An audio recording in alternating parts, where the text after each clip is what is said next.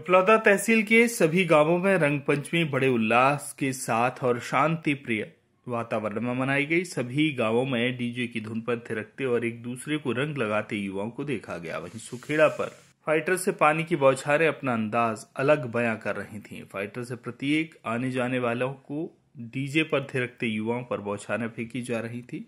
वहीं गलियों और चौराहों पर महिलाओं द्वारा रंग पंचमी अपने अंदाज में मनाई जा रही थी। एक दूसरे को रंगों से रंग कर रंग पंचमी त्योहार मनाया गया। त्यौहार पर कोई अनहोनी घटना ना हो, इसके लिए पहले ही रतलाम पुलिस अधीक्षक अभिषेक तिवारी द्वारा सभी थाना प्रभारियों से लेकर पुलिस चौकी प्रभारियों को सतर्क रहने के निर्देश जारी किए थे। जो पुलिस प्रशासन द्वारा बखूबी अपना कर्तव्य निर्वहन करते नज़र आए।